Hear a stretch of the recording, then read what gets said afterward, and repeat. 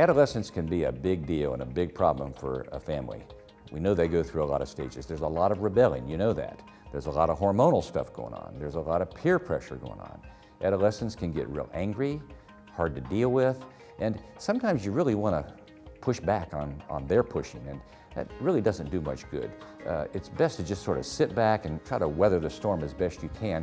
It, oftentimes when adolescents are angry and want to fight, they're not looking for a solution. You are as a parent. They don't want a solution, they want to fight. So the more you try to calm things down, the more they're going to push it. You just got to sort of sit back and tell them you love them, uh, watch after things, try to keep the rapport open, and make sure they're not doing anything that makes things dangerous.